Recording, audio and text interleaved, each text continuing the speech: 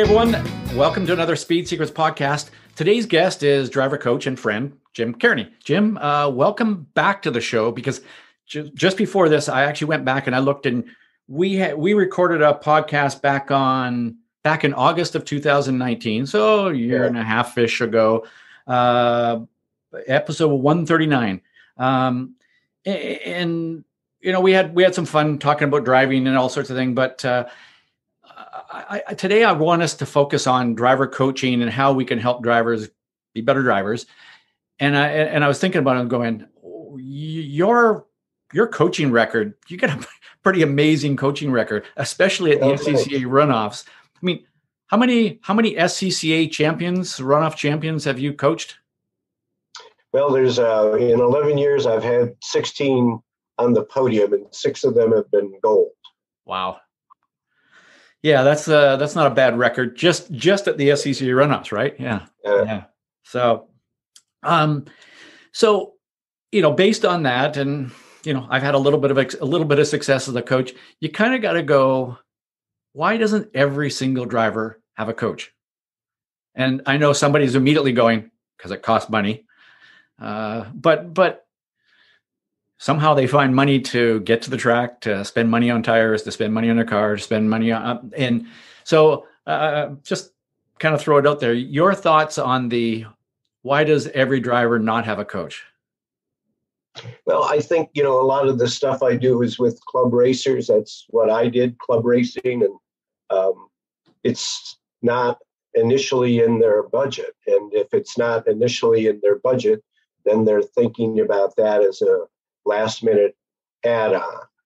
And uh, the nature of racing and motorsports is such that there's always something coming up with the the motor. There's always come something coming up with the tow vehicle. There's you know there's a rising um, crisis uh, approaching every race. It seems where you know something is gobbling up that racing budget. You know, so I you know I understand it completely. Uh, I just think that um, it's a it's something that until you get to a certain point of um, sophistication in how you're looking at your racing budget, you kind of think like, well, you know, that's uh, you know almost like a treat I'll give myself someday. And both of us, both of us, you and I, and many others, have come from that. You know, we've got we have no budget. Uh, um, that doesn't mean we have an unlimited budget. We have no budget, literally, and uh, you know we're trying to go racing on next to nothing. And, and, you're right. I think coaching is kind of thought of as that, like you said, an add-on or a treat or an extra. And I, I guess I'm wondering, you know, there was probably a time when people thought, well, tuning your your shock absorbers, your dampers is an extra. And now, sure. you know, to win, that's kind of a you got to be there. And, at one time, I think, yeah, I mean, there was probably a time where it's like the number of tires you had, they were extras. Well, now there's a, it, it's become a, a must have. And I, I, guess I'm kind of wondering, and you know, this is not a me looking for a job because don't worry, I have enough coaching work as it is. Uh, but I wonder when it's going to become a, not an extra, not a treat, not an add on. Yeah, I don't know if really if it ever will. Um, it's just one of those things. Um, you know, I tell people sometimes if you know, and I say it very lightly because again, the money thing is always going to be um, a hot button for for everybody. But I will point out that you know everything else wears out. But if you're learning stuff and you come up with a process that really seems to fit you, you can keep that. I mean, it doesn't wear out. I mean, I think it's nice to have a a coach every time you go out, but you don't necessarily have to have that. If you learn something about yourself or you come up with a good process that works for you and you can see results, you get to keep that. I wonder how many professional sports teams look at coaching as an extra uh, um, right. or you know if you're a parent and your daughter or your son is playing soccer or baseball or hockey or something like that if if if it was like okay you can sign sign your son or daughter up for this soccer team or this football team but we're not going to have any coaches Right. like it's funny, right? yep. Yep. Uh, well, the other thing I think that um, plays into it is that, and a lot of stuff in life uh, isn't logical. We know that. I think people think in terms of, you know, am I uh, good enough to be able to benefit from a coach? And other people will ask uh, if I'm working with somebody like uh, I'm working with uh, Scott Rubenzer for the last two years. He's a two-time national champion, and he won the uh, FRP Masters in Formula 1600 the last two years. And people will say, like, well, why does he need a coach? And it's a different way of. Obviously, Scott looks at it, you know, differently. So if you ask the question, it's almost like they're saying, "Are you too good to need a coach, or not good enough?" and neither of those really makes sense in my opinion i think that it's a matter of whether you um, number one can can fit it into your motorsports budget uh, and the other is i think you have to have a, a sense of yeah i'm i'm going to set my ego aside i don't i'm not fearful of somebody kind of looking at me close up um, and i think that that can be something that uh, some people are just really uncomfortable with. They just they don't understand um, the process. And I'm not. I'm sure you're not telling them how to drive. They know how to drive. The question is, can you coach them to have them present themselves to the track a little bit better? And oftentimes you can. Uh, and if they get a little bit better, they get a little bit better after that. And then you've got this staircase that they're climbing, and uh, it doesn't need to be, in my mind, in, any way intrusive. I tell them, you know, I'm your ally, I'm not your critic. Um, I think it's really important that they have a sense that whatever is said between us stays between us.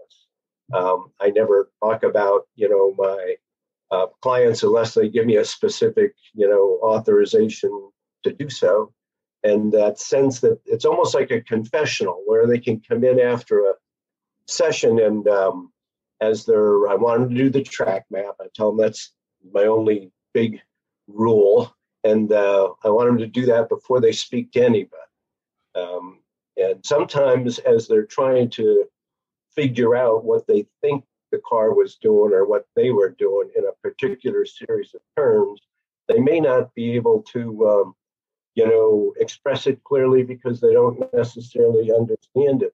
And uh, that I think is an acceptable answer. And then we'll work on that over the course of, of the day. And I think that that's actually can be a really big breakthrough where a driver realizes like, oh, well, okay, I don't have to be like uh, Ayrton Senna and have a five hour debrief. I can spit out a few things and maybe they're helpful. And uh, a lot of times it's not so much what the driver is writing down on the track map that is determinative. It's the beginning, that's a beginning for a conversation. Yeah. And I think that, um, you know, a lot of, at least a lot of folks that I have worked with have said that other people have come up to them uh, after I have left or gone to work with somebody else that same race, um, they'll say, "So what does he actually do?" and uh, I remember one guy, um, Canadian guy, Guy Bellingham, said, uh, "Well, it's kind of like this. Uh, Jim comes over and you have a talk, and uh, he tells you a bunch of stuff that you already know, and you go out and drive fast." Good answer. That was hilarious. Yeah, yeah. Well, eh, and I want to go back to the, you know, your comment about some drivers thinking they're not ready for a coach yet. And uh, you know, I part of that depends on how you define coach too, right? You know, if somebody's their first day at the track, do they need do they need a coach like you? Um, uh, so I think you know part of it depends on that definition of what is a coach, and but but I'm I'm I guess I'm curious. Ha, have you had a driver who, you know, an exa- can you give me an example of that where where a driver was like, you know, hey, I don't think I'm ready for a coach yet, and yet you ended up working with them, and they went, whoa, I guess I was. Yeah, I think that uh, there was a fellow who was um, um, again, you know, a lot of this uh, drivers I've worked with originally were in Formula Vee because that's the class that I raced in. Originally, that was the you know uh, place where a lot of my customers came from. And one fellow was reluctant about using a coach, and I think that turned out to be one of those situations where he kind of thought like, "Whoa, if Jim is here comparing me to these other top drivers, I'm gonna look bad." Ah. You know, and, uh, and I'm kind of thinking like, well, you know, you're already on the track with. You know, at the end of every session, there's a sheet that's, you know, put out on the net that comes up, and everybody knows where they rank. You know, you just there's that one thing at a racetrack is there's not an easy place to hide. Yeah. But if you're, he was thinking in terms of I'm pretty comfortable being in the mid teens of like a 22, 24 car pack. And that's kind of like where he was living, so to speak. And he was comfortable there, yeah. not really satisfied, but comfortable. And uh, as we, the first thing I remember with him was at um, Summit Point, there's a really fast turn that's determinative and really quick. Um, kind of like, you know, in the old days, you'd say separates the men from the boys. You don't say that anymore, but you know what I mean. And he was really stunned to see how close he was, segment time wise, to the top cars. He almost couldn't believe it. And it turned out his deficiencies were other places. Right. And they were, you know, initially, you know, somewhat significant. So maybe he'd be two and a half seconds off on a two mile track. And that would get him into that middle of the, you know, the teens, maybe grid 14th or 16th or something like that. But at turn 10, this heroically difficult, intimidating turn, he was maybe, you know, two tenths off. And he just you know, obviously there's work there, but he just kind of couldn't believe that. And that was, I think, the eye opening thing for him that if we could take a specific turn uh, that we, you know, would identify as something that he needed to work on, that he could actually take very specific, concrete steps and see his segment times get better. And it's you know, it's it's really interesting, and it's like probably a stockbroker working with a beginning investor, and the beginning investor starts to see some cash pile up in their account, and they kind of think, "Gee whiz," you know, maybe there's more. that's that's the nature of competitive people, and um, but until they see it happening, some people are just kind of slogging away repeating what they're doing. So I'm not saying when I said he was comfortable in the mid teens, I don't mean he was happy or satisfied, but that was like a uh, almost like a comfort zone. And he was extending himself outside of the comfort, comfort zone, if he felt he could do that in a very specific, safe fashion, he was game for that. And he was particularly game for it when the segment times started to become competitive.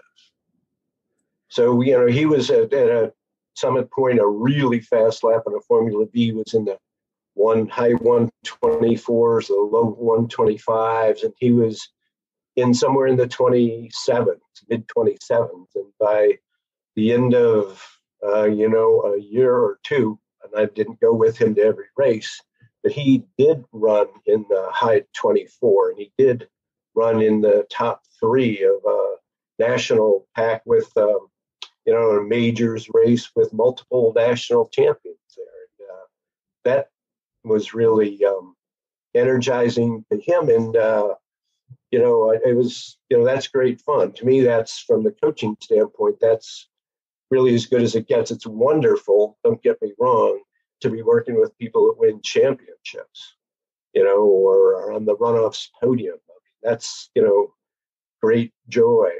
But to see somebody who thought they couldn't do it realize that they can actually methodically get better that to me is a really um, you know that's about as good as it gets i think. Well uh, you know one of the things I'm, I'm i'm hoping that so not uh, as much as I would like it, not everybody listening to this is going to go out and get a coach tomorrow. Uh, but I'm hoping that some of the things we talk about is going to trigger some things where they can think about, well, how can I coach myself in the same way? And I think you know something that we've we've talked about, you've talked a lot a lot about is is you know part of a coach's job is to help identify, prioritize. In the case of the fellow at Summit Point, that driver was thinking, well, I need to be really, I need to be better in that really fast corner. But you come along, you start to look at it, things maybe stepping back and being able to look at it and go, that's actually not the place that you need to focus on. You need to focus here, here, and here. So I think prioritizing what to work on that's going to make the have the biggest impact. And I think, you know, that is something that a driver can do, even if you don't have a coach. But sometimes it's easy to get caught up in that well, I must not be as good as the best drivers in that fast corner. Um, and then just get sucked into focusing on that when that isn't really the big place, right? So, yeah, more importantly, he felt he wasn't as good as the other fast drivers everywhere. Well, and, and that the other that's the other thing that triggers this, and I've I've told this story before of, you know, you were talking about somebody not happy, not satisfied being in the middle, but comfortable like that's their comfort zone and i've done this this uh, mm, process you know i've had drivers and i say just close your eyes and imagine you're on the grid and you're on the pace lap and you're coming towards the green flag. Now where are you? And they go i'm 12th yeah. and i'm like why are you not first? And, and so i think right. you know what what that's doing is that's the person's comfort zone. That's where they think they that's where they believe deep down inside they belong.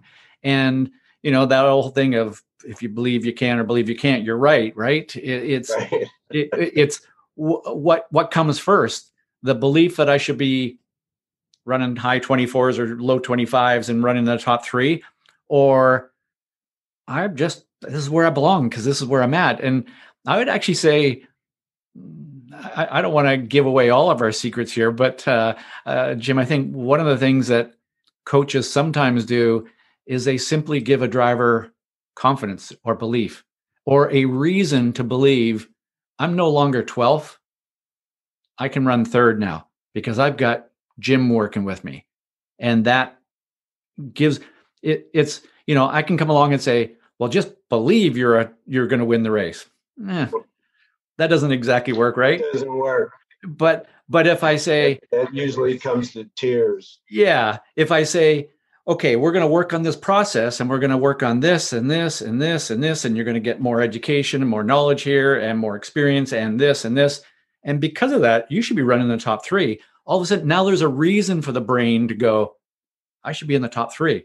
And then there's something super powerful in that I belong in the top three. Does that make sense? Yeah, well, you know what I would I would suggest in that scenario that we not talk about with this theoretical or person the top three because that'll freak him out. Yeah. But if we if we work on his car, his driving, and get that car going a little bit better, he understands why. Yeah then owns that gain, and maybe that gets him to 12th. Hmm. Yeah. And then then maybe he's 10th, and that's to me is the way that uh, it's going to work out because you know um, in this case, uh, the fellow made gains uh, very methodically. It was really uh, interesting, and as a coach, you know you don't know how far somebody can take something. You really don't know until they do it you know right? And um, i was just watching this how, how, many times have you been asked? How many times have you been asked you know can, can i run at the front of the pack i don't know yeah no i think that's the only legitimate answer really you know because um because it's really a, a difficult thing in most of these in many of these classes it's really really um, difficult. And um, until people do it, you really don't know. And as they're making progress, you also don't know at some point where they're going to kind of, you know, max out, at least temporarily. There'd be a plateau. This guy had a plateau around seven. Uh, and uh, one time he said to me, "It got." Um, I got up to seventh and it got all stupid out there. and I said, you know, that's kind of what happens, and you're fighting in the top six or seven in the last three or four laps. You know, and he just wasn't ready for, for that. It was kind of like uh, the dog chasing the, the car, and he gets there, he doesn't know what to do. And that's what this guy's situation was. And I told him, there's nothing wrong with this. This is new ground for you. You know, you know, you're not competing with the guys who were 16. You're competing, you know, you've reached um, the front of the field when drivers are better, more aggressive, and it's going to be more difficult. But gradually, he dealt with that. It just um, you have to let them. I think.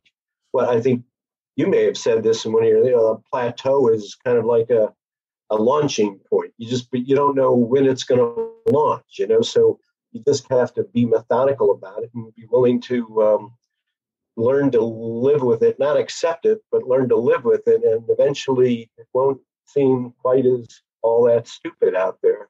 You'll start to work your way through that. So, even if you cannot or will not or whatever uh, have a coach tomorrow, you know, a couple of things here I, I, that I'm hearing you you say is just this. Sometimes you got to have a little bit of patience, which which is not a, not something that people who drive around racetracks quickly are known for as having good lots of patience. But there is a point where again, not not being happy about being on a plateau, but having a little patience, going that is going to be another launching point, stepping point, whatever you want to call it. Um, it's focusing in on what's the priorities, and then, as you pointed out, is is knowing that when you have this process, there's a reason why you should be getting better. Because I think personally, I think what holds a lot of people back is they've developed skills but they're stuck in that comfort zone and they don't believe that they should be able to move forward. And I think once you start to realize that you work through these processes, there is no reason why you shouldn't be improving. And if that improvement takes you from 12th to 11th or 12th to 7th or to 3rd or whatever it is, that's that is what it is. So I, that's kind of what I'm hearing you saying. I'm just throwing it back yeah, so the listeners can get it. I think the hardest part of the person trying to coach themselves is that it's really difficult to look at yourself. Yeah. It's just hard in any way, shape, or form, whether you're in the race car, at a racetrack, or at work or at home. It's really difficult to fairly, you know, assess yourself. I mean, how can you be objective about yourself? And so they, I think one of the things uh, a coach can do is just kind of be there with you and observe. And so it may be that, you know, you're, you know, there's 10 minutes to go and uh, they're frantically trying to get the car ready to go, you know, and I'm thinking like, this isn't, this isn't good. I mean, you never tuned into an Olympic broadcast to see Mike, Michael Phelps uh, swim a Olympic event and he's running around looking for his swimsuit. That doesn't happen. You know, these guys have a system in place they have a system in place. Now, in the um, you know uh, convivial environment that is a lot of SCCA racing, there's a lot of interaction, and I understand that. But that doesn't mean that you can't uh, figure out a way to impose uh, a system that you you are applying, and it doesn't need to be you know um, any kind of you know super super serious complicated thing. It's just being aware of time and being ready early, I think. And yeah, that does mean that you have nothing to do for a while. Maybe that'll initially make you nervous, but that at least allows you to think about, well, what am I doing? It's not all about the car. Like Lance Armstrong wrote the book, It's Not About the Bike. Um, regardless of what you think of Lance, I mean, I think what applies to a lot of motorsports is it's not all about the car. The car is a huge deal. It's a huge deal. The motor, the tires, the shot, everything. But the person who gets in the car has a dramatic effect on it. And a lot of times, and you know, we're the uh, club racer, not to pick on anybody, but he'll adjust and inspect and measure everything within a you know a nanosecond, uh, measuring tires, tire pressure, everything, temps, just everything is analysis. And then at the last minute, they jump in the car and they think to themselves, if they do that, I hope I'm in the best mood. It's you know, it's just, you would never think like, uh, we'll check the oil, you know, at the mid middle of the season. You'd never think like, uh, maybe there's the right amount of, you know, air in the tires or, you know, the shocks are at the right setting. You, you analyze that stuff. And so they need to, I think, take some time to fairly look at themselves. And to me, it's obvious that um, having some sort of a system is um, better than having it just kind of left to chance. So the coach's job sometimes yeah. is to help uh, create or fine tune or even just trigger that system or process, right?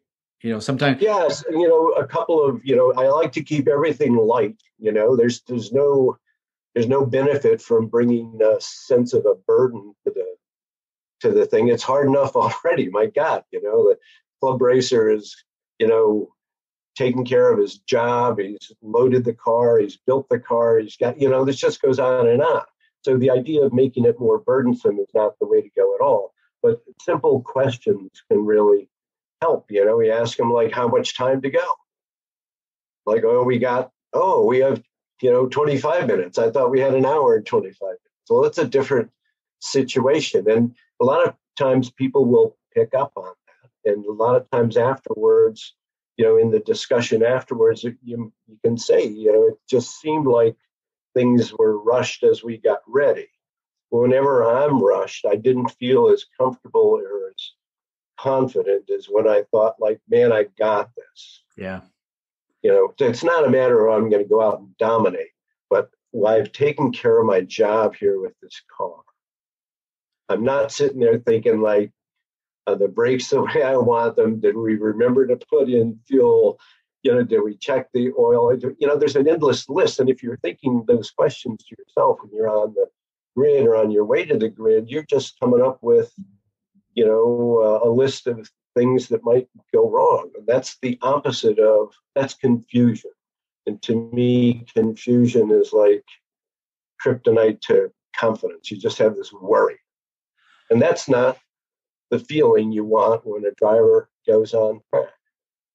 Well, you you use the the word mood, and I talk about state of mind, and I think th- that I, I, I I've got stories and examples of how helping somebody just get into the right state of mind or mood prior to performing takes their performance to a whole other level that they never expected.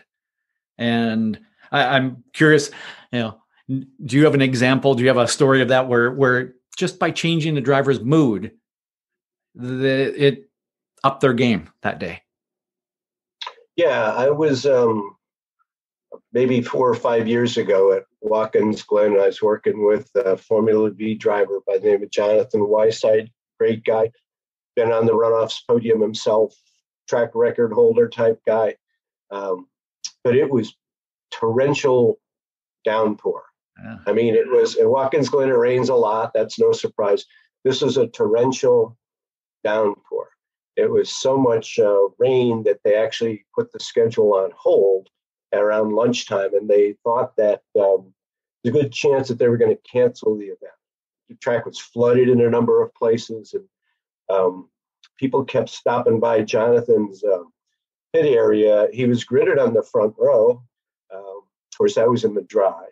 And uh, the day before, kind of saying, you know, are you going to win? Are you going to win? And I could see him getting tighter and tighter. It was like watching somebody crank down on a violin string. And finally, um, even though it was raining like hell, I got an umbrella and got one for him. And I said, let's go for a walk because I wanted him to get out of that specific environment. And uh, as we walked along, um, he wasn't saying anything. And I said, Well, you know, John, when you think about it, you're in complete control here. And his head kind of snapped off his shoulders and looked at me like, What are you talking And I said, Well, you know, you've put a lot of time and money and effort into this car. He built his own car. He had a great AutoWorks motor. Uh, he had uh, Ray Carmody, a great Formula Vee guy there, helping him with the car. He had a really good team in place, um, but he looked like uh, like he was, uh, uh, you know, a cow going down a cattle chute, and he knew what was going to happen at the end of the cattle chute. You know, he was just super grim. And I said, you know, you can just decide that this isn't worth it. That on this particular day, you know, you just decided that uh, you don't want to go out, you don't want to run this race. And it was a revelation to him. You know, he just said something like, "That's right. It's you know, it's my effort. It's my effort." So I said, "Yeah, and they're were wonderful and they're deep, and uh, you know, I applaud them. But um, you know, if you want, one of the things that you might do is you might run the first lap and just see if it gets really crazy. You can just drive right in. There's no harm in just driving right in. We're not putting you know money on the table here you're still going to have a house you're still going to have a family you know this is a this is a very sophisticated kind of you know extreme hobby but it's a hobby and you can just decide that you don't want to do it and he thought a lot about that and uh, he decided that he would start the race and see how it went he wasn't very comfortable in the rain so we did a rain discussion you know uh, and he got into turn one first. And again, you know, cars will brake really nicely in a straight line in the wet. They'll accelerate out. They just don't like to turn. So yeah. a discussion. He did a nice rain line out of one, and he won the race by eight seconds. He was never headed. And I'm, you know, that might have happened anyway. That might have happened anyway. But I don't think so. I think that, um, well, you know, as you know, a big deal in the rain is you've got to be calm. You've got to have smoothness. You know, you can't be jerky jerking the car around. And uh, I think that in the frame of mind he was in before that, it wouldn't have uh, gone as well. Well, it's interesting. So there are so many things there. The fact that you took the pressure off by kind of saying, you know, this isn't, we're not curing cancer here. Um, right. you know you're gonna have a job you're gonna have a family you're gonna have a home uh, you know afterwards anyways no matter what you do. Uh, you know so you took the pressure away. You um, you, you spent some time giving him or at least refreshing knowledge around the rain line and how to drive in the rain. So that automatically kind of gives you a little bit more confidence like oh yeah i'm i'm ready. I'm prepared for this right and of course starting the pole you get to turn one you're in the lead. You're the one car without a big spray in front of you. So that does give you a little more confidence and then it kind of builds from there right? Um, yeah. and as you were saying that uh, I, I, recall a race it was an imsa race at watkins glen uh, way back when and uh, it was one of those same kind of just pouring rain and it was raining all day and you know, with at an IMSA race, all the teams have the big transporters with the awnings out, and I'm standing there under the awning next to my car, and I'm kind of looking around, and I'm looking down the down the paddock area at the other teams, and I can see other drivers, and they're all standing there, kind of hunched over a little bit, looking up at the sky, going, "Ah, I wish this rain would go away." And at that moment in time, I went out and I, no umbrella, no hat, no nothing. I started walking up and down the paddock area just kind of like, ah, I love a day like today. and, and, and I love the rain. And I could see everybody else, all the other drivers kind of looking at me like, you're a whack job, right? this but, dude's crazy. But I just went, I'm just going to enjoy this. I'm going to have fun. And I went out and wailed on people in the rain. And of course, then it builds your confidence. And then you start to believe that you're some kind of rain god, you know? And, and so it just builds on itself. And that's the, that's the fun part, I think, of, of well managing that state of mind that mood that whole kind of thing. And uh, um, yeah it's really cool the way you took the pressure off him then built his confidence in a way that's not a rah rah you can do this but you yeah i think the, the big key is that um, he came from a mindset where you know all you guys are going to die to, know, those who want to participate can participate. And a lot of times, I think the big difference is that whether it's regardless of you're deciding to go out and run an event like that, or if you're uh, kind of concerned about you're not your lap times are not what you'd like them to be. Uh, if you focus on yourself and the choices that you're making, it's so much more empowering than thinking, yeah, but this other car is faster than mine, and this other driver is somehow, I don't know how he's a second and a half faster than me. I mean, you know, that's almost irrelevant to you and your car. Get in you, your car and drive it a little bit better. And if they think it's their choice, which it ultimately always is, but if they're coming from that standpoint, they're much more likely, I think, to perform um, in a reasonable way and not feel like somebody's got a gun to their head. And a lot of times it's themselves who, who are kind of thinking like, God, I have to do this. I have to do this. Yeah. I'm scared to do it. I don't want to talk that way. I don't want to think that way, but I've got to force myself to do it. But if you think about they're here having a, they're at a wonderful uh, venue. Um, it's kind of an interesting challenge. And, you know, they go out and apply some of the skills that they're learning uh, and things that they're thinking about themselves and learning about themselves, actually, that that's more fun. And as they're having more fun, they're likely to perform better, which is more fun by itself. And that, I think, this is uh, to me the big key. It sets the foundation for them doing better.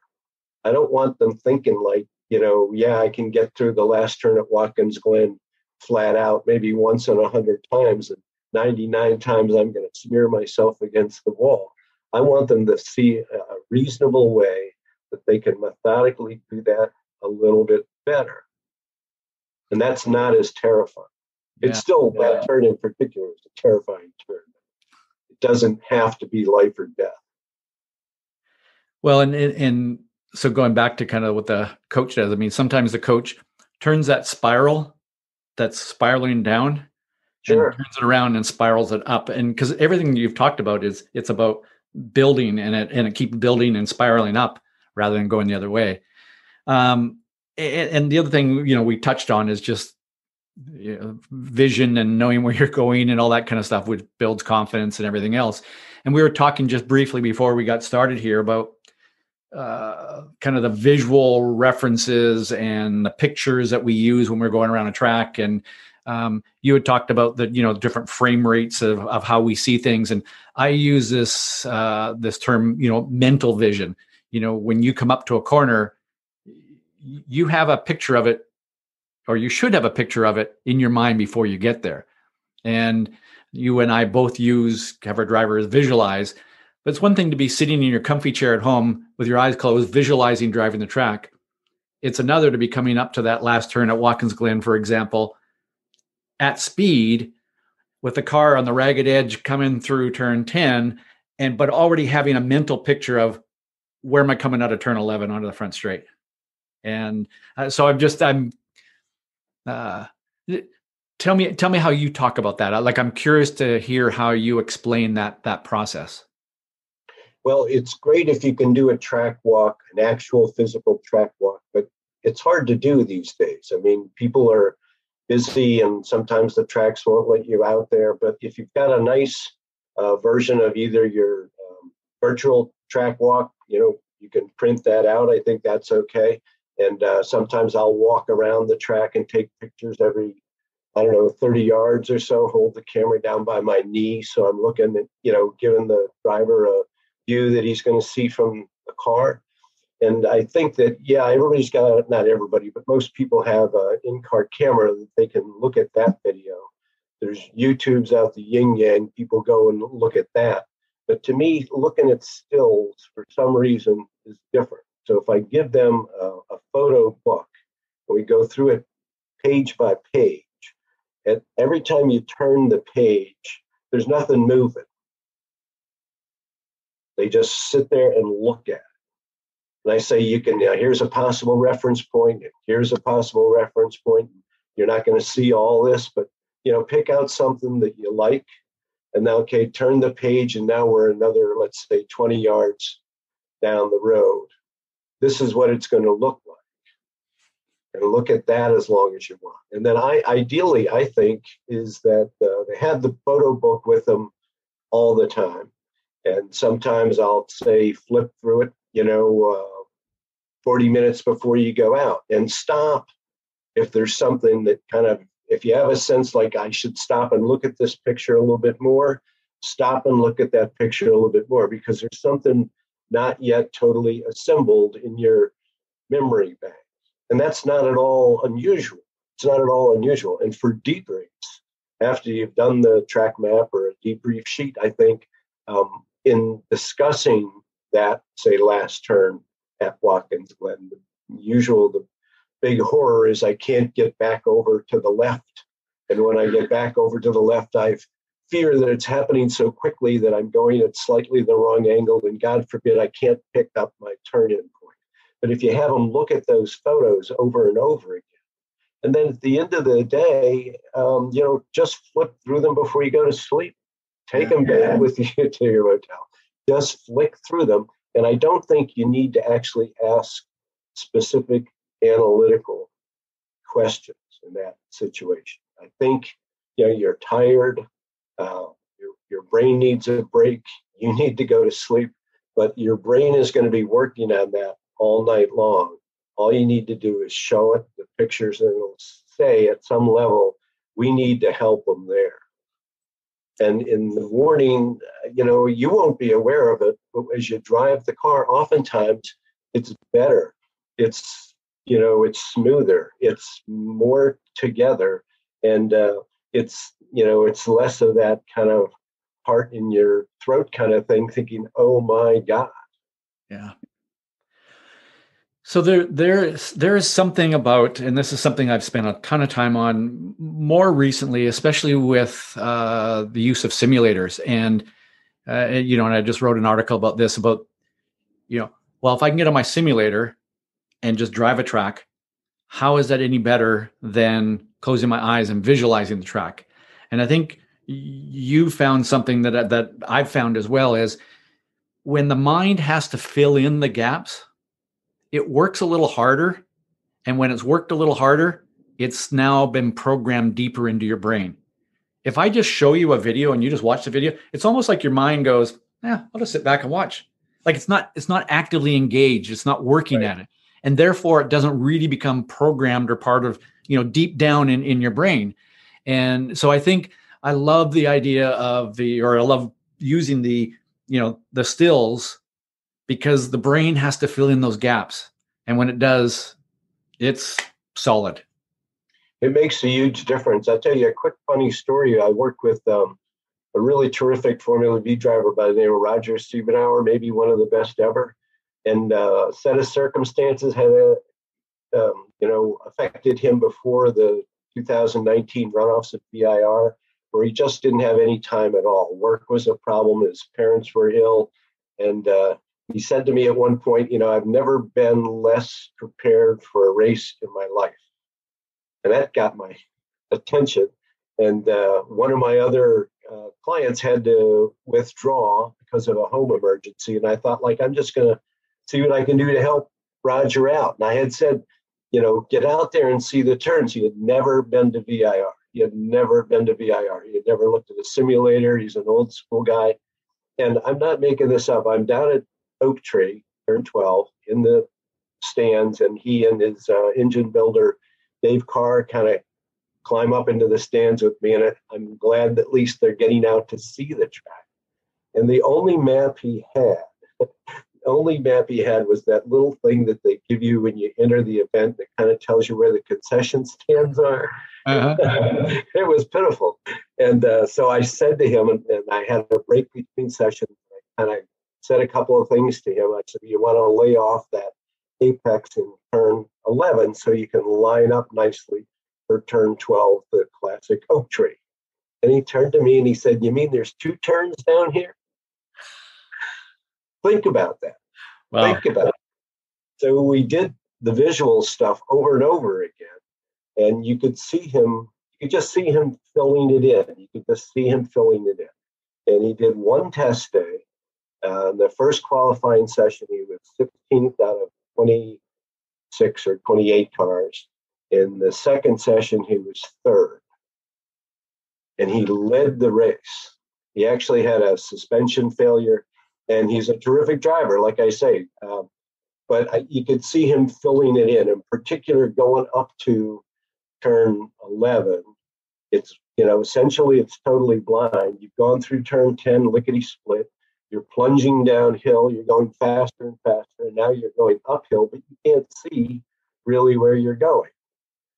And your eye picks up the beginning of the apex curve for turn 11 and it says, well, at least that's something. Let's go over there. Yeah. And the pins start to come across. You're thinking, no, no, no. And you have to, you know, show people those those different visuals, and they can, I think, plug them in a frame at a time and gradually put it into the place so that as they're going up their blind, they realize, yeah, I need to be wide of that. That allows me to have a nice run into oak tree turn 12 and a methodical, predictable exit out. Well, I love the idea, the, the that whole concept of you got to fill in the blanks essentially, and and again, when you fill in the blanks, it's a whole lot better than if I filled them in for you. Right. You know, it's it's like you know if if I give you uh, you know a math test, you know I, I have grade three math test uh, arithmetic, and and you know there's the blanks of you know two plus what equals four.